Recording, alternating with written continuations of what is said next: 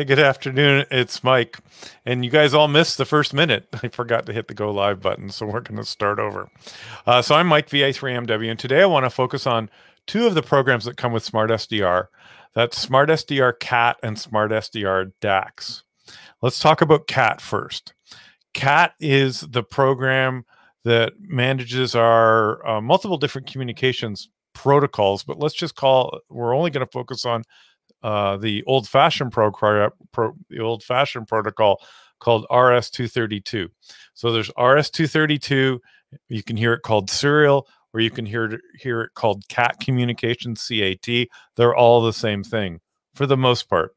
And this is for the new user. So if you're already up and running and you're doing everything, I'm not going to teach you anything you don't know already. And hey, Travis, and and hey, Dave. So uh, good morning or good afternoon, and Kevin, good evening. Uh, from ZL land, loving the sailing, man. From ZL, I'm a I'm a sailor. I've I've raced competitively, and the uh, AC75s are absolutely amazing. So a little brag out to the uh, to the guys down uh, about half a world away from me. So serial or cat uh, information. See, I shouldn't even be showing my messages because I can't do both at the same thing. So I'll just stop. So let's just talk about RS-232. It's been around forever. It's well over half a century old, if not more, and it was originally designed for machine-to-machine communications. Uh, there's RS-232, and it's got some brothers called RS-422 and RS-485, but don't worry about those. But generally, they're all the same thing. Hey, Peter. So that's what RS-232 is. And Peter, I actually want you to listen to this one. So the every other radio out there has generally one port. Some of them might have two, but let's for the most part say that whether you had a TS850, TS480, FT1000, ICOM this or ICOM that, they had one RS232 port.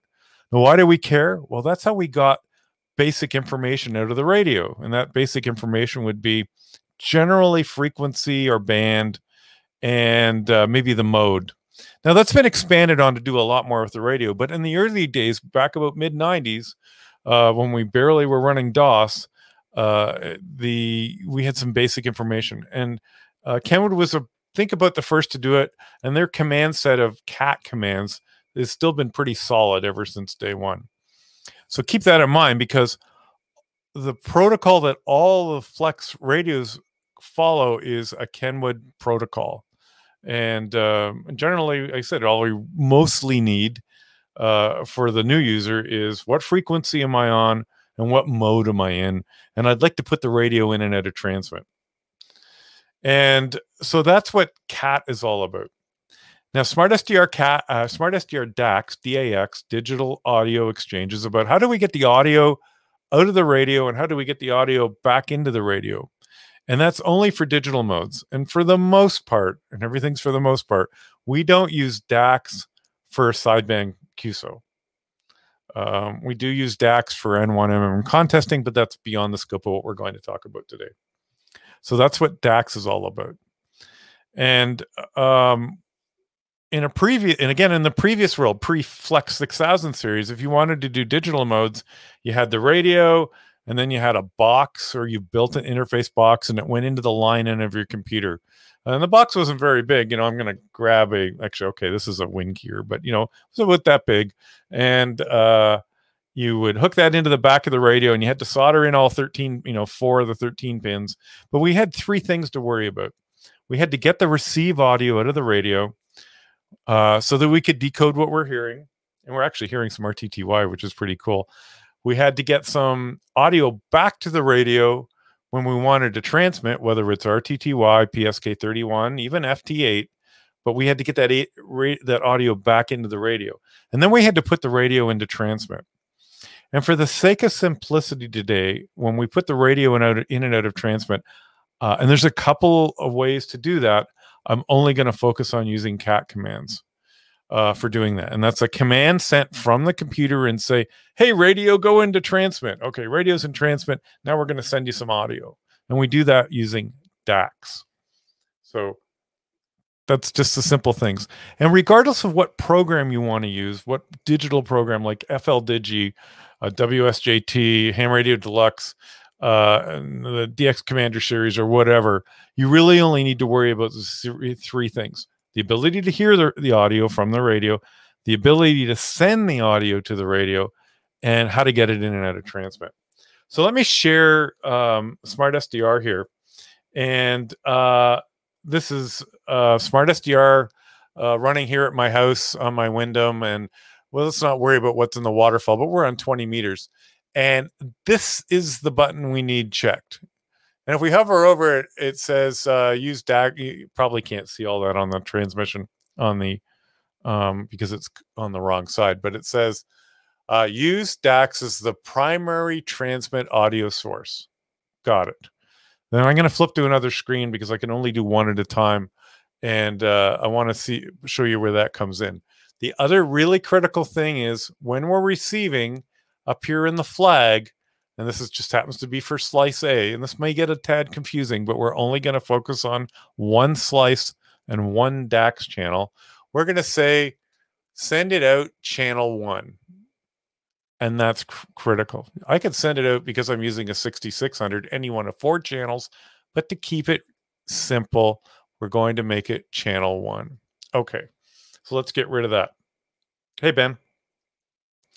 Uh, now, so let's I get it. This takes me a second to do because I have to uh, stop that and share screen. And I, I love this tool, but uh, it only lets me to share one screen at a time. So now we're going to go over here to um, this happens to be my remote desktop, and we're going to focus here on the DAX control panel here. And I've got FL Digi up because I've had a lot of quests re regarding FL Digi. Let's get rid of some stuff. So we talked about uh, RX Stream one, and there it is. This is this one. And if I, um, it's my 6600, and it's connected to um, at that IP address, and it's enabled, and it's connected to Slice A, and um, and that's the rate it's streaming at. And because uh, there was actually, I'm actually on my Maestro, so it it this is one other key part. DAX and CAT do not have to be on the same computer you're using to use the interface. So you can have a computer that you're running Smart SDR, and you can have a computer that you're running Smart SDR CAT and Dax. In my case, right now for this example, I did show you Smart SDR, but I'm actually operating from my Maestro, which uh, let me uh, let me bring myself up so I can see what I'm doing. But my my Maestro is sitting right here. And uh, for lack of a better picture, you know, I can uh, touch here, touch here, and you can see that I have DAX 1. Okay. But this is what we do with the clients. You can have different clients doing different things. This, again, is a big departure from what we grew up with. Got it, Peter, so far? By the way, I pick on Peter, but he's a close friend of mine, so he's my straight man. So we've got it set. Uh, we've got it set for one, and uh, we have. Um, let me go over here. This is the transmit stream. This is the stream being the audio stream going to the radio. This is how we control how much of it. And this is what we're receiving here. And if I was to turn this off by clicking here, and where you watch, this is the little, I'm in RTTY mode. We'll watch the, when I click it off, that'll go away and we bring it back. And this is a good test. If you get this far, you brought up FL Digi or whatever other digital program you have. How do I know if I'm actually receiving anything? So let's look at the FL Digi configuration. And while we're picking on FL Digi, it's the same for every program. You have to pick your audio that you want to hear. Where do you want to send your audio? And how do we get the radio into transmit? Now, the nice thing about all the Flex radios is they will emulate a Kenwood radio. And so generally we call it a TS2000 or a TS480. I said 480 because I own a used to own a 480. So in FL Digi, this is under configure. There's a lot of stuff to set up here. The rest of it you can go look and get on the forums for the FL Digi guys. But we want to, uh, in my case, I'm using the Hamlib. My rig is set to a TS480. I'm going to do push to talk via Hamlib command. That means we're going to do it by a cat command, like a computer command, and we're going to send it to COM6. Well, heck, what's COM6? So let's go over here to Smart SDR for cat, and we look down here. Of course, yes, I have a bunch of them. And I created a cat port. You you just if you don't have one, you create it. And the C means cat, and the N1 N means uh, N1MM for your spots. And the W is you happen to have a wing here, and P is push to talk, but we're not going to use that. So where's COM six, four, five, six, and look at that process connected FL Digi. Great, these match. This COM six and that COM six are the exact same thing. By the way, the auto switch TX means if FL Digi goes into transmit to to grab the transmitter on the flex radio and make it the active one. What it really, you know, so you want that generally checked all the time. Uh, I can't think of a reason for most people not to do it. Cool. So that's what the cat says. Uh, and by the way, there's a log here for you techie guys where I can open up this log. I can open up the log. Oh, because I don't have it selected. So we're going to click it and open up the log. And look at that. There's all the cat commands going back and forth through the radio. It's really handy if we have a problem we want to, and you know, we're saying, hey, did the radio actually go into transmit? But these commands are, you know, uh, FA, um, give me the frequency for VFOA, and it comes back, and there it is. And that's all cat command is. So perfect. So I'd said TS480 COM6. And by the way, if you don't have a port, just create one. You can hit add and I, you know, I could call this uh, my FL Digiport.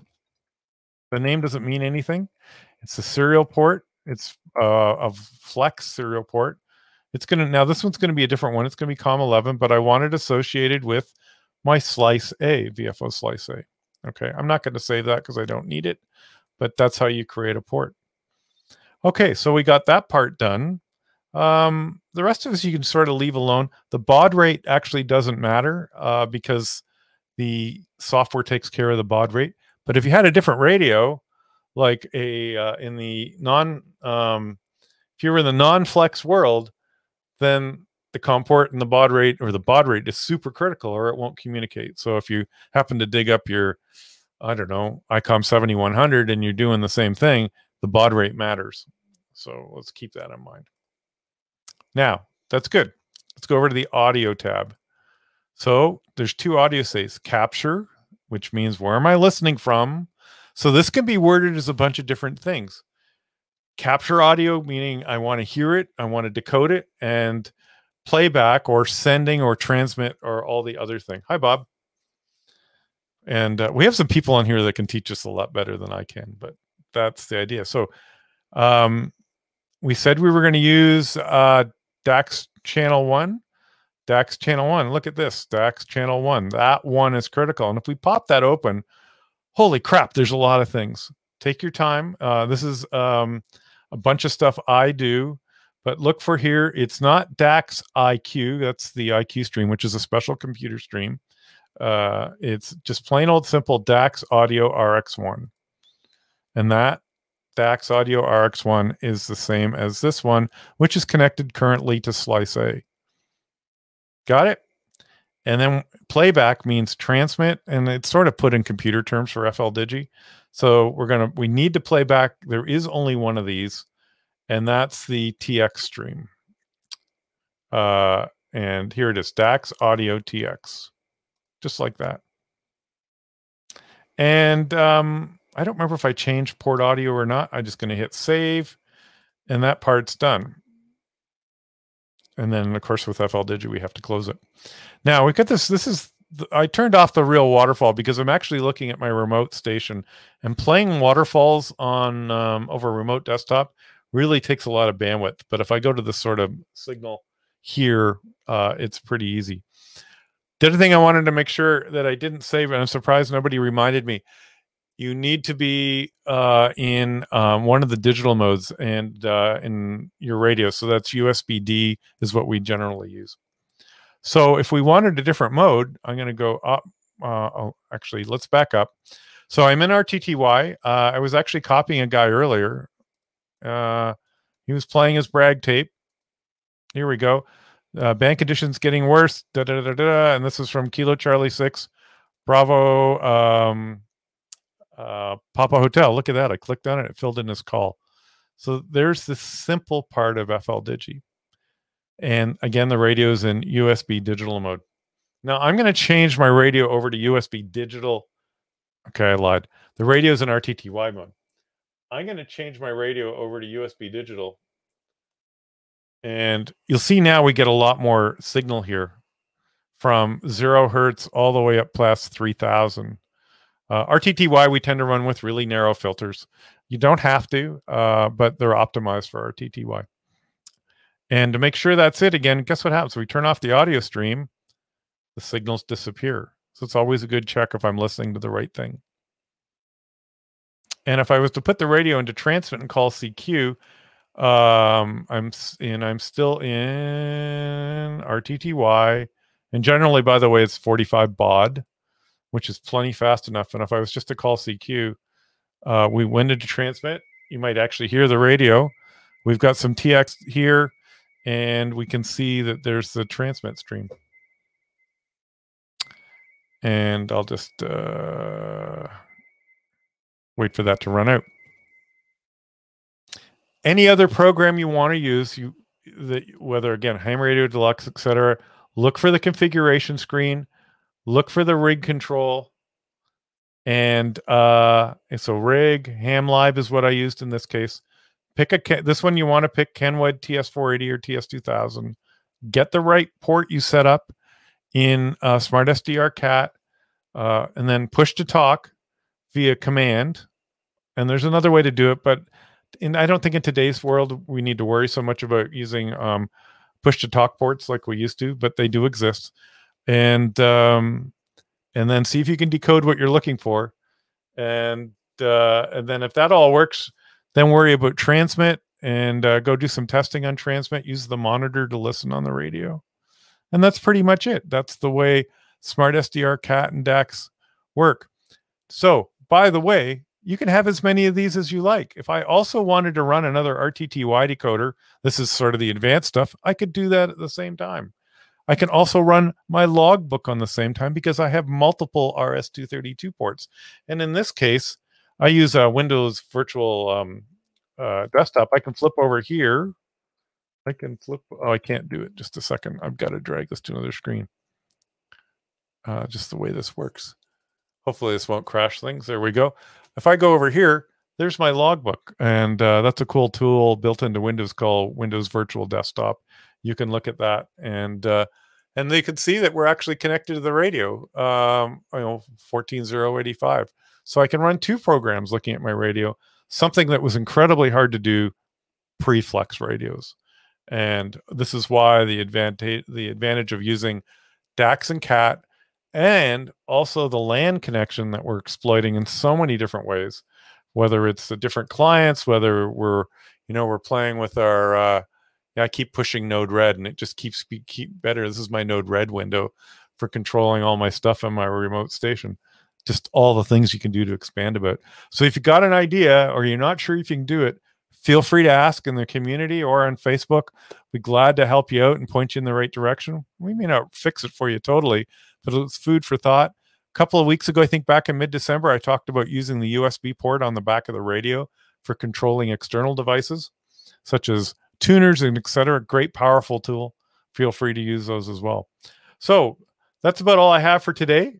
I uh, I hope that uh, helps you a bit. And uh, uh, and if you have any more questions, now you can ask Peter V3 Hotel Golf. No, I'm just kidding, and I know he just fell off his chair. And uh, but I thank you all for joining. And uh, that's Smart SDR, Cat, and Dax. And if you um, and by the way, if you're doing any satellite work, it's the same thing. You just double it up and you use two slices. And uh, Kevin, you're more than welcome. And uh, guys, have a great day. Thanks for taking the time to join. My name is Mike, VA3MW, and we'll catch you all later.